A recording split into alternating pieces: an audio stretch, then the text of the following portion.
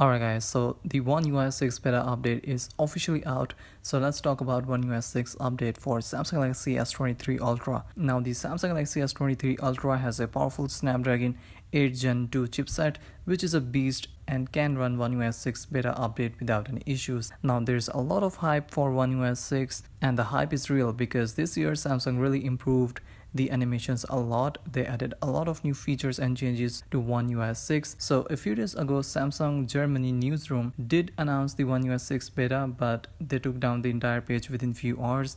But now the page is live again and Samsung has officially launched the One UI 6 beta program for S23 series. So this is the official look at the One UI 6 quick panel. So as you guys can see, the quick panel has different sections. So on top you have two big toggles for Wi-Fi and Bluetooth. Now I think these toggles will be customizable so you can add any toggle of your choice at top. Now moving down there is a basic layout of all the quick settings just like we used to have on One UI 5. Now the brightness adjustment bar has its own separate section which includes display related things like dark mode and eye comfort shield and at the bottom you again have two big toggles to mirror your screen and to see device controls. So overall, I really like the design of the new quick panel in One UI 6. The One UI 6 also brings new emoji design, new fonts for lock screen with a lot of fonts to choose from, new animation for media player which looks really cool. Now there will be a lot more features and changes in One UI 6 which we will see once Samsung released the stable One UI 6 update.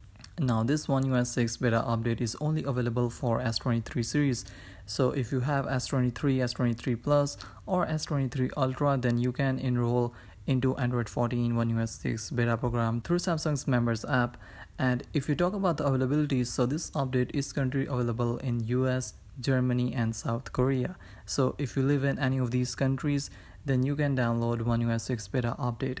Now Samsung will add more smartphones like the new Z Flip 5 or maybe even the last year's flagship the S22 or S21 series smartphones to its One UI 6 beta program. And Samsung will also add more countries to its One UI 6 beta program so the users in those countries will also be able to experience One UI 6 beta update. So right now the beta version of One UI 6 is out which means that soon we will get to see the official and the stable One UI 6 based on Android 14.